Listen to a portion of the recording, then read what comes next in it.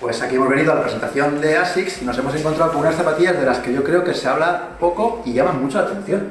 Son las Nova Blast. Estas son ya las, las tres, la tercera edición de las Nova Blast. Desde luego, a mí me parecen visualmente impactantes, pero ¿qué nos tienes que decir, Javi? Que tenemos la suerte de tener al gran experto del calzado a nivel nacional e internacional. Todo hay que decirlo. Hay que ser justo. Él sabe muchísimo. Pues más allá de la estética, la nueva Nova Blast tiene dos cosas muy importantes, que es un poquito más gruesa, tenemos más amortiguación y además es más estable. La espuma sube por los lados y el pie ahora se va a meter dentro, con lo cual es, va a ser mucho más difícil que balancee. Esto se nota mucho para cualquier tipo de corredor, ya sea neutro o pronador suave, que el, gana zapatilla, gana zapatilla en amortiguación y en estabilidad.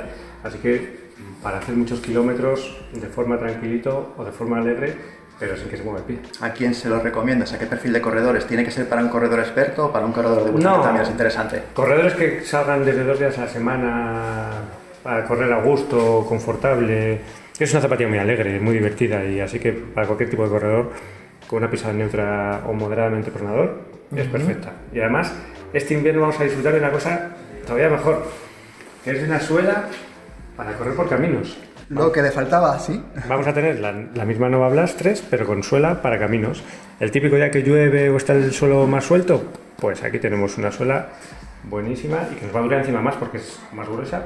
Así que todo eso que te abraza la tierra, con la nueva Nova Blast con tacos, por decirlo de alguna manera, ganamos zapatilla. ¿Qué pisada tienes? ¿Es planita? ¿Tiene mucho drop? ¿Cómo va? Tiene un drop medio, un drop de 8, y...